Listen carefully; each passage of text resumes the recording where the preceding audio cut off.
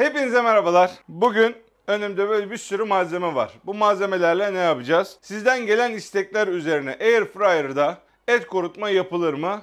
Bugün bunu deneyeceğiz. Daha önceden fırında yaptığım bir tarif vardı. Kurutma makinesinde yaptığım bir başka tarif de vardı. Bugün ilk defa Air Fryer'da yapacağız.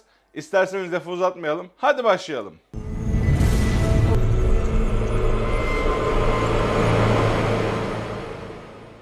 Evet arkadaşlar ben malzemeleri aşağı açıklamalar kısmına yazacağım. Şimdilik etimi şöyle kenara alayım. Önce baharatlarla ve sosla işimizi halledelim. Ondan sonra etlere geçelim. Önümde birkaç çeşit baharat var. Bunlara bağlı kalmak zorunda değilsiniz. Olmayanı eleyebilirsiniz ama bunlarla ben daha önce denemişliğim var. Gayet güzel oluyor. Ben ölçüleri aşağı yazacağım. Burada tane şeklinde karabiberim var. Sarımsak ve soğan granülüm var. Bunlar granül şeklinde olduğu için daha böyle toz formuna getirmek için bunu kullanacağım. Şimdi bu kekikleri vesaireyi de isterseniz toz yapabilirsiniz. Problem yok. Ama pul biber, kekik, şekeri biraz incelteceğim. Bunlar zaten toz biberle füme biber. Bunlar toz halde olduğu için bunları ellemeyeceğim.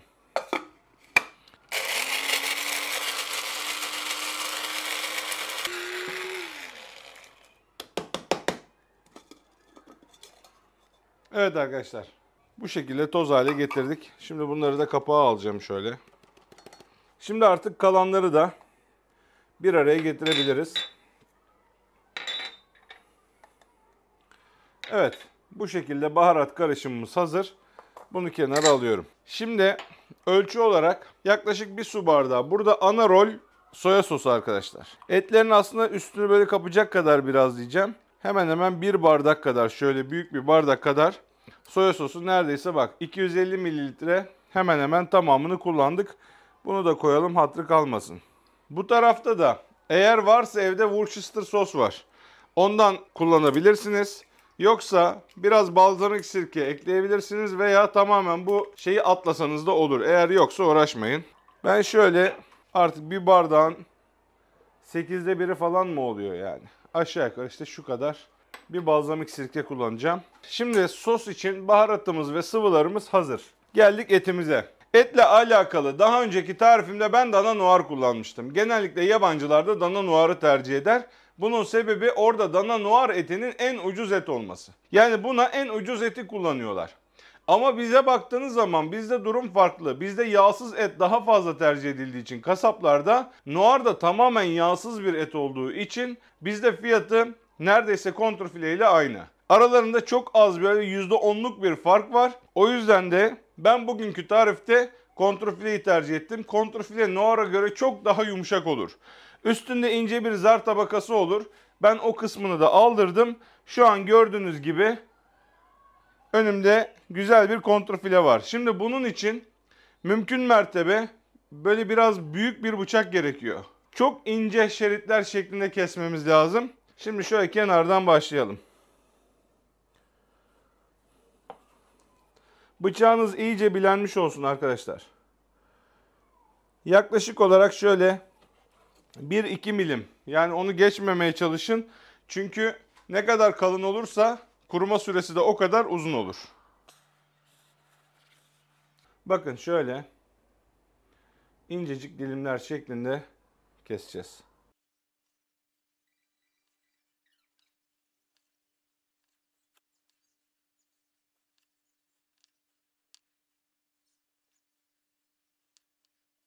Şimdi bunun tamamını kesebiliriz ama air fryer ne kadar alacak açıkçası emin olmadığım için.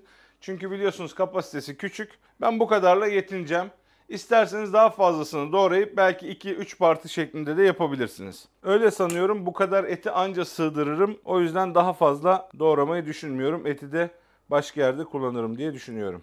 Eğer böyle bu kadar ben ince kesemem diye düşünüyorsanız etinizi 2-3 saat kadar derin dondurucuya koyabilirsiniz. Eğer et donuk olursa o zaman hani bu kadar keskin olmayan bir bıçakla bile daha rahat ince bir şekilde kesebilirsiniz. Şimdi etleri mümkün olduğunca şu şekilde ince kestim. Bunlarda hiç gerek yok. Ama mesela bakın. Bunun şu kenarı biraz fazla kalın. Şimdi eğer bu tür keserken dengesiz kesimler olduysa şöyle bir streç filmin arasına etinizi koyun.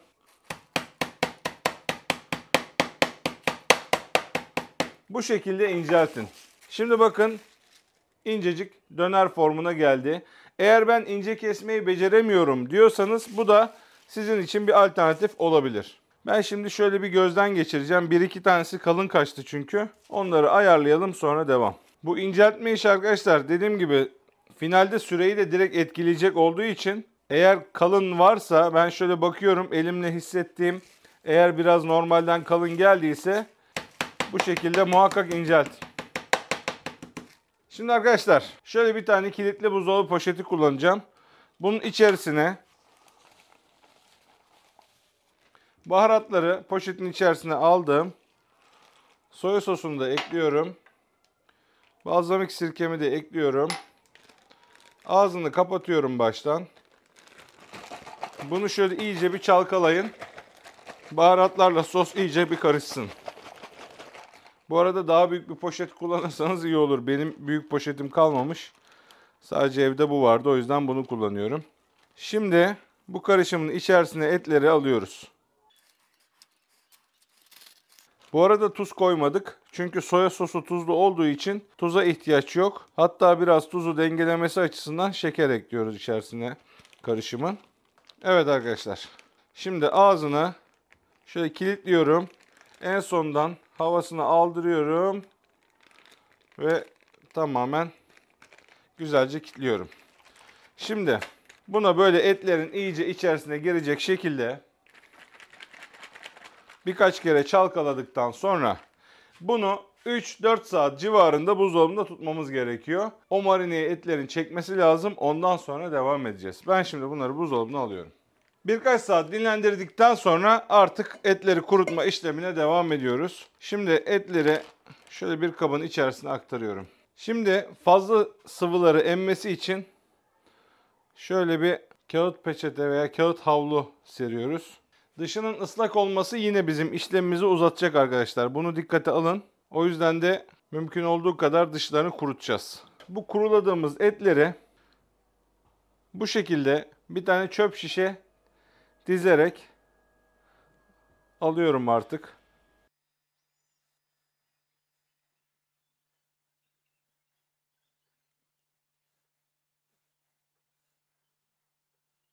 Bu şekilde arkadaşlar bakın.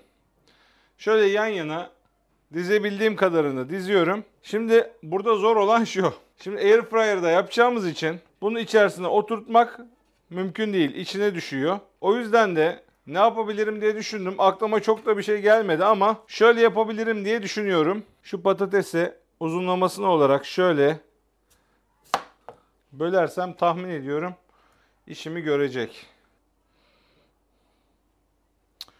Yükseklik kurtarmıyor. Yani şöyle mümkün olduğu kadar yukarıda olması lazım ama şu hizada tutsak kapanır mı emin değilim arkadaşlar. Ama böyle bir deneyeceğiz. Çare şu an için böyle. Bu şekilde patatesten destek alıp şu tarafa doğru etleri etlerin aslında birbirine değmemesi gerekiyor. Ama burada o çok fazla mümkün değil. Geri kalan kısmını da ben bir dizeyim. Ondan sonra devam edelim. Şimdi şöyle bir çözüm buldum. Bakın. Şimdi size gösterirken düşüyor ama bunu e, içine koyarken ayarlamam gerekiyor. Şöyle patateslerle zaten patatesin içerisine sapladığım için tam anlamıyla düşmüyorlar. Şu şekilde bir destek verdim. Şimdi aslında bu kadar fazla doldurmamamız lazım. Ama hani biraz da elektrik tüketimine de değsin diye açıkçası biraz da sınırları zorladım. Bir görürüz bakalım ne olacak. Normalde fırında 4-4,5 saati buluyor bu işlem. Air fryer bundan çok daha kısa sürer diye düşünüyorum. Şöyle bir yerleştirelim bakalım. En zor kısmı bu. Geri kalanlar kolay. Bak şimdi mesela şu patates başımıza bela. Bunları tıraşlamam lazım. Haydi bakalım bismillah. Biraz daha. Evet. Zannediyorum böyle oldu. Birazcık üzerlerinden tıraşladım. Evet şu an kapandı. Şimdi arkadaşlar buradan sıcaklığı manuel olarak ayarlama moduna geçiyoruz.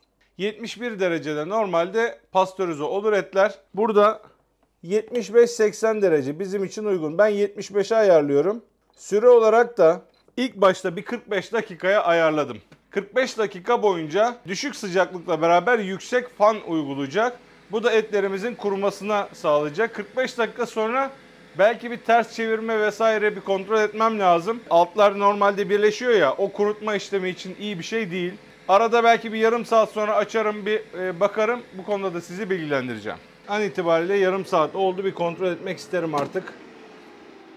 Evet bayağı bir şekil değiştirmeye başlamış. Durum gayet güzel. Şu an sistem işe yarıyor arkadaşlar. Şöyle patatesler de tabii bu arada pişmeye başlamış. Ama şöyle göstereyim bakın. Artık kurumaya başladığını anlıyoruz. Uç kısımlarını birazcık şöyle kontrol ediyorum. Fena değil. Çok bir fark yok şu an. Bu şekilde devam edeceğiz. Devam ediyorum.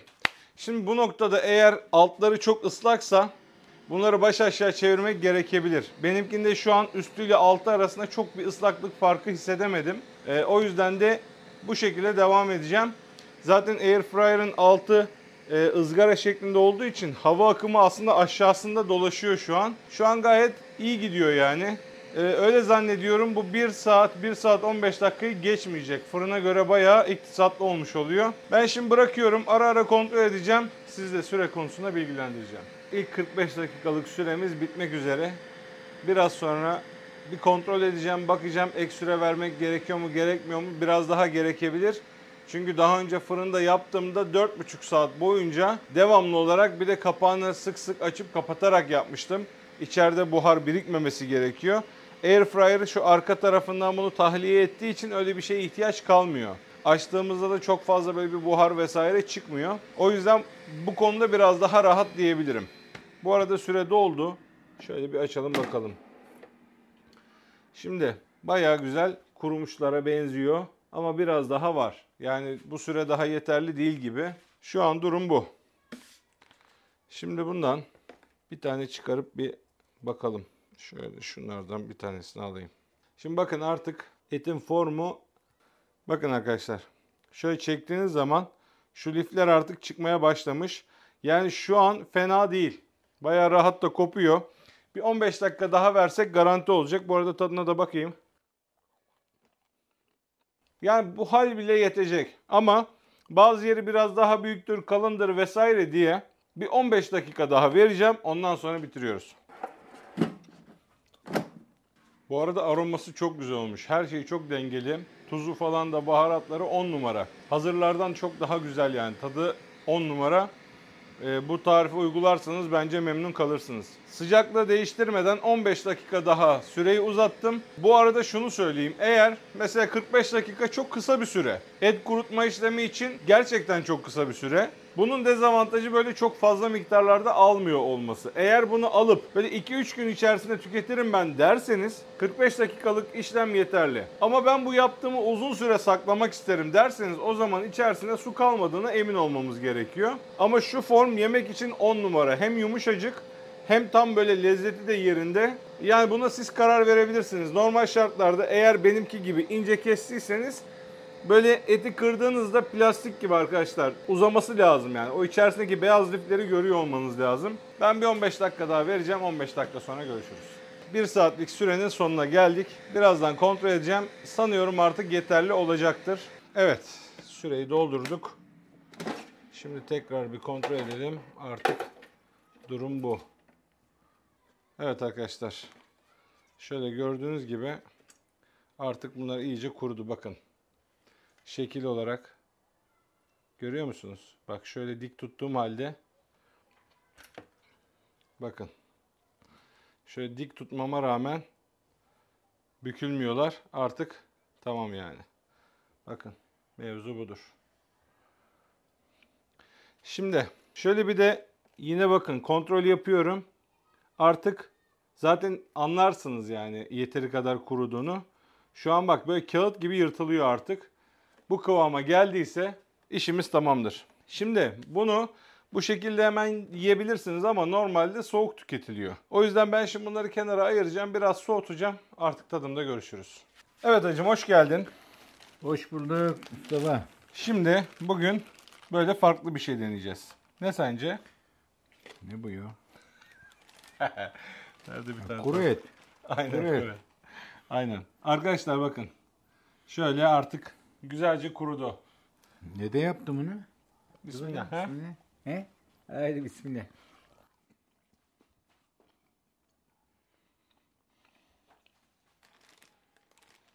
Çok güzel olmuş. Arabası kıvamı tam benlik. Airfryer'da. Allah Allah. Evet. Daha önce bunu ben fırında yapmıştım. Fırında 4,5 saat sürdü. Airfryer'da 1 saat. Allah Allah. Hem de böyle çok lezzetli bir şey olmuş. Evet. Tam dukan. Vereyim sana bunları. Tık tık. Bakın üzerinde baharatlar vesaire de kalmış. Ve kıvam görüyor musunuz artık bak kağıt gibi yırtılıyor. Çok güzel ya. Çerez gibi gidiyor değil mi? Ya bu birileri kurut, kurutulmuş etin bir şey bir değişik versiyonu. Hı hı. Ama bu atıştırmalık baba. Bu böyle çerez gibi yiyorsun bunu. Bunun olayı bu. Bundan diyelim 8-10 tane böyle arada direkt protein. Bunun protein oranı çok yükseliyor arkadaşlar. Bunun tavuğunu yapsana. 300 lira etin kilosu. Şeker de çerez gibi yesin. Tavuktan hiç denemedim. He? Ama olabilir. Dene tavuktan dene. Olabilir. Aynen bu baharatlardan dene. Valla çok güzel. Ha, yedikçe yesi geliyor insanın. Arkadaşlar nefis oldu. Şimdi bunu bu haliyle aynı şöyle kilitli poşette birkaç hafta tutabilirsiniz. Bozulmaz. Eğer vakumlarsanız bunu bir yıl bile tutabilirsiniz. Yani ben daha önce yaptığımı bir yılı bile geçtikten sonra açtım yedim vakumlu. iyice vakumlamıştım. Hiçbir sıkıntı olmuyor. Bu haliyle eğer suyunu tamamen kurutabildiyseniz birkaç hafta hiç problemsiz saklayabiliyorsunuz. Ama vakumlarsanız hiç korkmayın. Arkadaşlar bayağı tasarruflu oldu. Bayağı da aldı. Ortalama e, ağırlığının üçte birine kadar düşüyor. Yani 1 kilo 350 gramlara falan düşüyor. E, aşağı yukarı böyle hesap yapabilirsiniz. Airfryer'da bugün yaptığımız şekilde bence fırından daha mantıklı. Çünkü fırın da çok çok fazla almıyordu. Orada da 1,5 kilo eti yapabilmiştim. Yani baktığın zaman yine nereden baksan iki kere de bile yapsak fırının yarı hesabına geliyor diyebiliriz. Var mı acım? Eline sağlık. Valla güzel oldu. Yüksek proteinle beslenenler için çok güzel. Bence hani televizyon karşısında al iş yerine götür ye gerçekten güzel bir şey. Umarım beğenmişsinizdir. Umarım hoşunuza gitmiştir. Beğendiyseniz beğen tuşuna basmayı, bu tür videoların devamının gelmesi için kanalıma abone olmayı unutmayın. Bir sonraki videoda görüşmek üzere. Kendinize iyi bakın. Allah'a emanet olun. Hoşça Ya. Mustafa güleceğim çıkıyor. Söylemeden yapamayacağım. Yani alın yanına çerez yedir gibi yediriyorsun ya. Şuradan 400 lira. Ama bu böyle yeniyor baba. Bunun maksadı bu yani. güleceğim çıktı ya vallahi.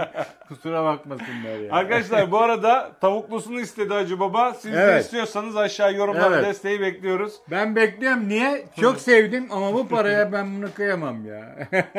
Onun için öyle bir tavuğu yap bakayım. Ama aynı baharatlarla yap. Tamam deneriz. Vallahi çok güzel. Tamam deneriz. O zaman bir daha kapatayım ben videoyu. Orayı keseriz. Kapat. Arkadaşlar umarım beğenmişsinizdir. Tavukla alakalı e, desteklerinizi bekliyoruz.